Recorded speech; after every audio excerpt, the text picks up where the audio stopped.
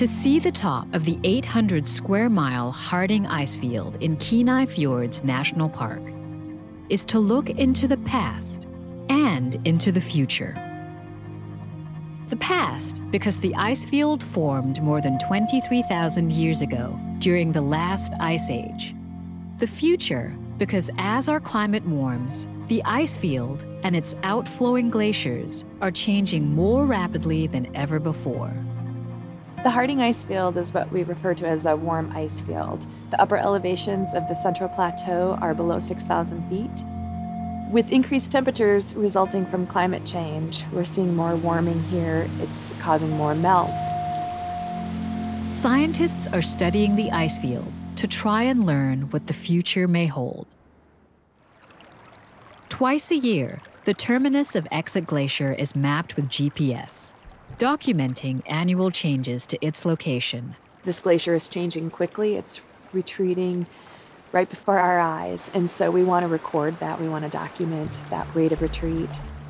Another ongoing project measures the mass balance of the ice field. In the spring and fall, a research team flies to various sites on the ice field to measure winter snow accumulation and summer melt.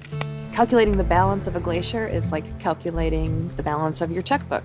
And we're looking at winter accumulation is like the deposits, and then the summer melt, or what we call ablation, are the withdrawals.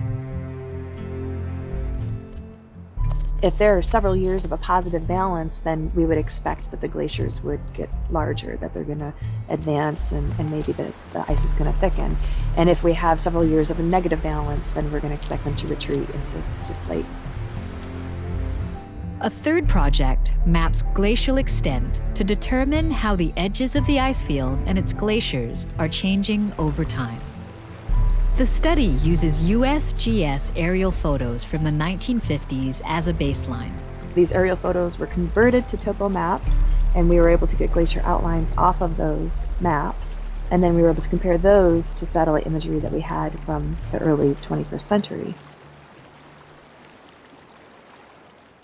Repeat photography also adds to the catalog, showing over a century of change to Kenai Fjord's tidewater glaciers. Over 100 square miles of ice have disappeared from the Kenai Mountains since the 1950s.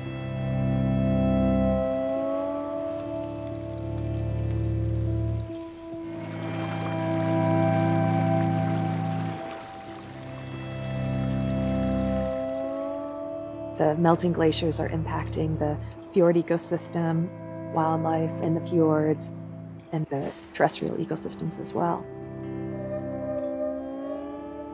Kenai Fjords National Park will continue to study the local impacts of melting glaciers, with the hope that this research will help protect Kenai Fjords and contribute to our global understanding of climate change.